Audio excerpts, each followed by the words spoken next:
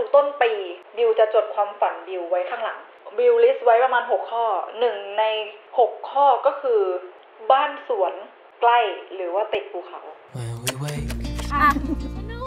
โฉนดที่ดินที่ไหน hear birds and see the sun. โอ้ยน้ำตาไหลเลยอะเฮ้ยมึงซื้อเหรอบ้านเราคือตรงไหนบ้างมึงเห็นไหมตั้งแต่ตรง All นั้น the เขา good times just begun. ตั้งแต่ตรงนั้นอะ ไม่รู้ป่าวว่าที่เรายืนอยู่ตรงเนี้ยคือที่ดินเรานะ Let's hold on tight. หกไร่นี่เอ้ยที่ดินเรา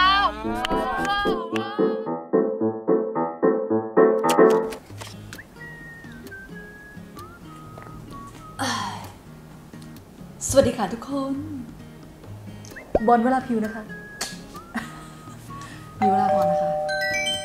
สิ่งที่จะบอกทุกคนในวันนี้ก็คือต่อไปนี้นะ จะเป็นซีรีส์ของบ้านสวน บ้านสวนคืออะไร จริงๆ ถ้าเพื่อนๆ ได้ดูแบบหลายๆ คอนเทนต์หรือหลายๆ EP หรือว่าใน IG Story หรือว่าต่างๆอะวิวจะพูดอยู่ตลอดเลยว่าวิวอยากมีบ้านสวน แล้วก็ครอบครัววิวก็อยากมี ใครมาเที่ยวหัวหินเนี่ยก็มาได้นะคะ เป็นเมืองที่ชิลมากจนวิวอยากจะซื้อบ้านสวนอยู่ที่นี่เลย ก็ก็อยากมีบ้านสวนมากชอบอะไรเขียวๆวิวอยากมีบ้านสวนค่ะบ้านต่างจังหวัดอยากมีสระว่ายน้ำใหญ่ ๆ มีคลื่น แล้วก็บ้านสวยๆแบบเหมือนไมอามี่แก้แผนแล้วจะซื้อที่ดินแล้วปลูกบ้านจะแล้วปก็ลูกกระท่อมพวกขอแค่สีไร่อันนี้คือความฝันนะของบัวเอาแค่กันไว้สีไร่เอาเป็นว่า Garden House ของบิวเนี่ย ก็คือจะเป็นการร่วมเดินทางไปแล้วกันทุกคน เพราะบิวรู้สึกว่าอะไรรู้ป่ะ อะไรที่ยังไม่ได้ทำในวันนี้ จะไม่มีทางสำเร็จในวันพรุ่งนี้ ก็เลยรู้สึกว่าแบบเฮ้ย เราต้องเริ่มแบบ เริ่มทำอะเริ่มลงมือทำเริ่มวางแผน เริ่มตามหา แล้วก็ผลสุดท้ายมันจะเป็นยังไง เราจะเติบโตไปในทางไหน เราก็จะ ร่วมเดินทางไปด้วยกันทุกคนทุกทุกปี บิวจะมีสมุดเล่มหนึ่งก็ก็คือเล่มนี้ ก็คือจะจดพวกงานอะไรไว้อย่างนี้ แต่ว่าทุกๆต้นปีบิวจะจดความฝันบิวไว้ข้างหลัง ซึ่งบิว list ไว้ประมาณ 6 ข้อ 1 ใน 6 ข้อก็คือ บ้านสวนใกล้หรือว่าติดภูเขา ในหัวข้อของบ้านสวนนะ เราเอาหัวข้อของบ้านสวนนะ ซื้อที่ดิน 3-4 ไร่เผื่อทำโฮมสเตย์ซื้อที่ดินติดภูเขาในปีนี้ ราคาไม่เกินเท่าไหร่คือเขียนเจาะลงไปเลยว่าราคาต้องเท่าไหร่แล้วกี่ไร่แล้วค่าสร้างบ้านเนี่ยเราตั้งไว้เท่าไหร่แล้วเราก็เขียนไว้ด้วยว่าต้องทำยังไงให้ไปถึงฝั่งฝันนั้นได้ ที่บิวเขียนไว้ในสมุดก็เรียกว่าเป็นอะไรที่แบบจริงจังมาก สำหรับจุดเริ่มต้นของบ้านสวนนะหนึ่งเหตุผลเลยเพราะว่าอะไรบ้างด้วยพื้นฐานแล้วอะบิวอะเป็นคนที่แบบชอบอะไรเขียวๆมากชอบสวนมากแล้วคือแบบบ้านที่เราอยู่มันก็เป็นแบบทาวน์โฮมทุกคนนึกออกปะว่า มันไม่มีสวนก็เลยทำให้เราอะทำงานอยู่แต่ในบ้าน ก็เลยแบบ ทีเนี้ยบิวอะ save อัลบั้มหนึ่งไว้ใน Pinterest ก็คือแบบ save ไว้เป็นปีๆแล้วอะทุกคนหลายปีมาก คือตอนแรกอะอายุเลข 2 เราไม่ค่อยคิดอะไรมากทุกคนก็คิดว่าเอ้ยทำงานเก็บเงินอยากได้อะไรก็ซื้ออยากทำอะไรก็ทำเนี่ยแต่พอแบบมันเข้าสู่เลข3แล้วมันทำให้เราคิดว่าแบบ เฮ้ยเราเป็นผู้ใหญ่เต็มตัวแล้วเราต้องคิดว่าแบบเราจะวางแผนชีวิตยังไง เราจะเติบโตไปกับอะไรแล้วเราจะทำอาชีพอะไรที่อยู่กับเราไปจนวันตาย เพราะว่าอะไรมันก็เกิดขึ้นกับเราได้ตลอดเวลาแล้วเราอะไม่ใช่ตัวคนเดียวไงเราก็แบบมีครอบครัวมีอะไรอย่างเงี้ยอันนี้เป็นส่วนหนึ่งที่ทำให้รู้สึกว่าเฮ้ยเราต้องทำอะไรสักอย่างกับความฝันของเราแล้วอืมนี่แหละคือสิ่งที่แบบว่าเป็นจุดเริ่มต้นทำไมถึงอยากมีบ้านสวนเนาะทุกคนก็คืออย่างแรกเลยนะ ไม่เคยมีบ้านต่างจังหวัดมาก่อน ในชีวิตก็คือถ้าทุกคนเห็นไปนครสวรรค์ไปปาจีนก็คือเป็นบ้านคนอื่นหมดเลย บ้านบิวจริงๆอะครอบครัวบิวจริงๆอะคือมีแค่ในหมู่บ้านนี้เท่านั้น แล้วเวลาไปนครสวรรค์อะแล้วก็ใช้เวลาประมาณ 3-4 ชั่วโมง แล้วแม่ก็คือจะเลิฟมากชอบมากที่ได้ไปเจอญาติญาติๆไปต่างจังหวัดอะไรเงี้ยแล้วก็อีกอย่างหนึ่งคือ เราชอบอะไรง่าย ๆ ที่ต่างจังหวัดอะแบบใช้ชีวิตง่าย ๆ คือคิดหนักมากเลยนะเพราะว่าไม่เคยอยู่ต่างจังหวัดนานๆมาก่อนเลยทุกคนอย่างมากก็อาทิตย์หนึ่งอะไรเงี้ย ก็เลยรู้สึกว่าเฮ้ยเราจะอยู่ได้ปะวะเราจะใช้ชีวิตยังไงวะแบบอาหารการกินจะลำบากไหมหรือว่ายังไงอะไรเงี้ยก็คิดอะไรอย่างจนสุดท้ายรู้สึกว่าเฮ้ยคิดแล้วว่าเราน่าจะอยู่ได้ คือบิวยังทำทุกอย่างเหมือนเดิม แต่ว่าแค่แบบไปไปๆมาๆกับๆอะไรเงี้ยแล้วเราก็ไม่กระทบกับงานที่เราทำด้วยเนี่ยคือสิ่งที่เราคิด ภาพในฝันตอนนี้คือบ้านเนี่ยจะต้องเป็นบ้านที่แบบว่าเป็นสไตล์แบบบาหลีอะทุกคนที่สำคัญ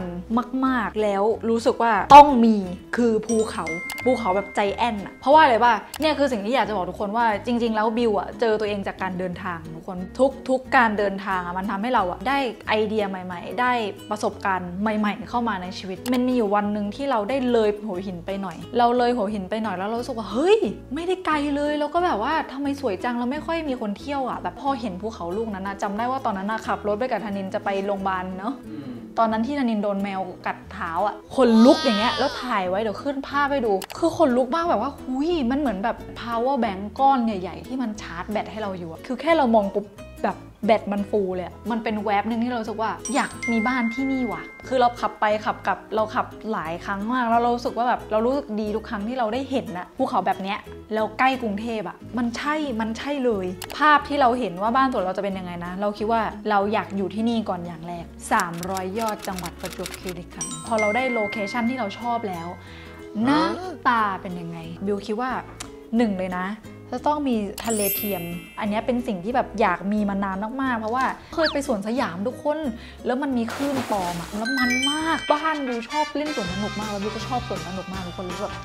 อยากมีทะเลเทียมแล้วก็อยากมีคลื่นแล้วแบบอยากโตคลื่นเล่นๆอะเอออะไรเงี้ย ก็เลยรู้สึกแบบต้องมีทะเลแล้วก็ต้องมีภูเขาด้วย แล้วก็มีโซนผักให้แม่ให้ลุงน้อยปลูก มีปลูกกะเพราปลูกพริกปลูกมะนาวปลูกกระหล่ำอยากเลี้ยงสัตว์ด้วย จริง ๆ ชอบม้าเพราะว่าเกิดปีม้าไง แล้วก็อยากเลี้ยงวัว อยากเลี้ยงหมู อยากเลี้ยงแกะครับอยากเลี้ยงแพะบ้านบิวจะแบบโตมากับการเลี้ยงสัตว์บิวเลยแบบเป็นคนที่ชอบสัตว์มากๆ ก็เลยคิดว่าในบ้านสวนอยากมีสัตว์หลาย ๆ ชนิด แล้วก็จะมีบ้านอยู่ในสวนให้ลุงน้อยเป็นกระท่อมเล็ก ๆ ที่แกชอบเพราะลุงน้อยแกค่อนข้างแบบว่าชอบความเป็นส่วนตัวอะไรเงี้ยแล้วก็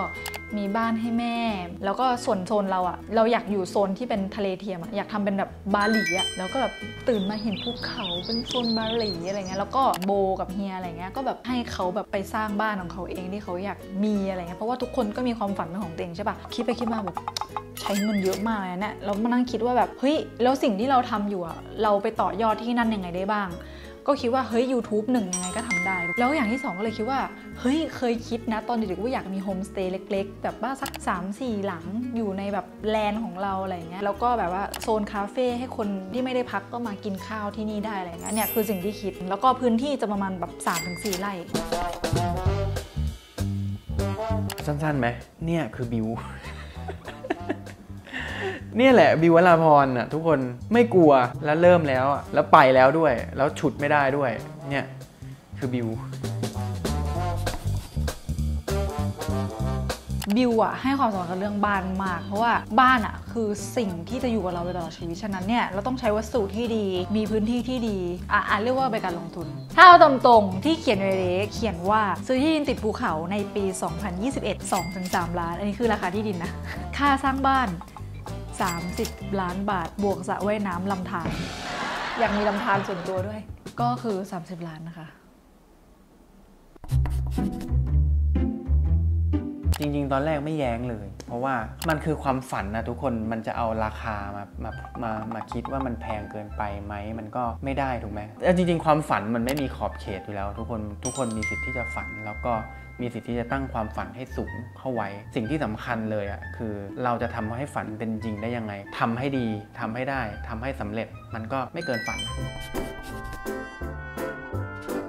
เกินตัวไหมเหรอจริง ๆ ถ้าเกิดว่าพูดถึงสถานะ ตอนเนี้ยอาชีพที่มีอยู่ตอนเนี้ยเกินตัวนะ แต่ว่าถ้าถามว่าเป็นไปได้ไหมคือเป็นไปได้ ก็จริง ๆ ลึกๆมั่นใจในศักยภาพตัวเขาว่า เขาสามารถทำให้มันเกิดขึ้นได้ แต่ว่าในระยะเวลาเท่าไหร่อันเนี้ยอีกเรื่องหนึ่งใช่บิวคิดว่าบิวควรเริ่มเพราะว่าหนึ่งเลยนะเป็นการที่บอกตัวเองว่าเฮ้ยแกเราจะเริ่มแล้วนะ เราจะทำแล้วนะ คือตอนเนี้ยบิวพูดตรงๆเลยบิวไม่ได้มีเงินสามสิบล้านนะคะทุกคน แต่ว่าวันก่อน มีโทรไปถามธนาคาร เอ่อถ้ากู้แบบว่าเพื่อสร้างบ้านนี่ยังไงคะแบบว่ากู้ 30 ล้านนะคะธนาคารก็ได้บอกกลับมาว่า อ่าต้องเป็นบริษัทที่เปิดมาแล้ว 2 ปี แล้วก็ไม่ขาดทุนอะในตลอดเวลาเวลา 2 ปี แล้วซึ่งบริษัทเปิดมา 2 เดือน 2 เดือน แล้วที่สำคัญนะ ต้องมีสินทรัพย์ที่เอามาค้ำประกันราคาเท่ากับจำนวนที่กู้หมายความว่า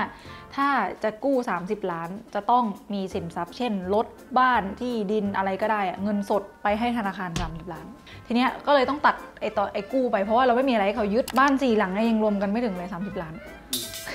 เนี่ย จะได้วางแผนไงว่าเราทำยังไงล่ะให้มีเงินเท่านี้ เออ ก็เลยคิดว่าทำธุรกิจดีกว่าเมื่อเหมือนกับช่วงเนี้ยเราก็อยู่แต่บ้านแล้วเราก็ได้ทบทวนหลายๆอย่างเราคิดว่าเฮ้ยนี่แหละมันเป็นโอกาสที่เราจะได้พิสูจน์ตัวเองด้วยว่าเรามีศักยภาพมากพอไหมเราจะทำความฝันให้เป็นจริงได้ไหมมันคือคำว่าทำแล้วเสียใจดีกว่าเสียใจที่ไม่ได้ทำ งั้นถ้าเรามี passion แบบนี้แล้วอะเรามีความคิดที่มันเป็นรูปเป็นร่างต่างๆ แล้วอะเราขาดอย่างเดียวคือการออกเดินทางตามหาความฝัน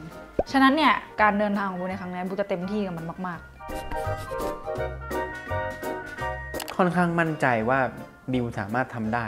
คิดว่าบิวไม่น่าหยุดพยายามอะถ้าเกิดว่ามันเป็นความฝันสูงสุดในชีวิตที่เขาตั้งไว้อะมีโอกาสเป็นไปได้ 99% 1%เอาไว้ให้สำหรับความไม่แน่นอนในประเทศเราก็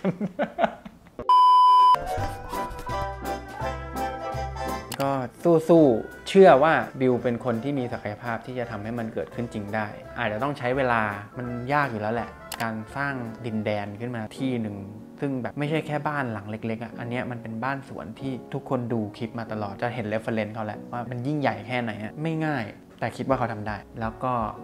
เดี๋ยวมันจะมีวันที่เราก็ต้องดูที่ดูทางอะ่ะก็เดี๋ยวถ่ายมาให้ทุกคนดูเป็น EP ต่อไปแล้วกัน น่าติดตามอะทุกคนก็เดี๋ยวลองดูว่าเส้นทางในการที่เดินทางไปตามหาความฝันของบิวในครั้งนี้มันจะเป็นยังไงก็เอาใจช่วยนะ ก็เดี๋ยวก็คงต้องตาม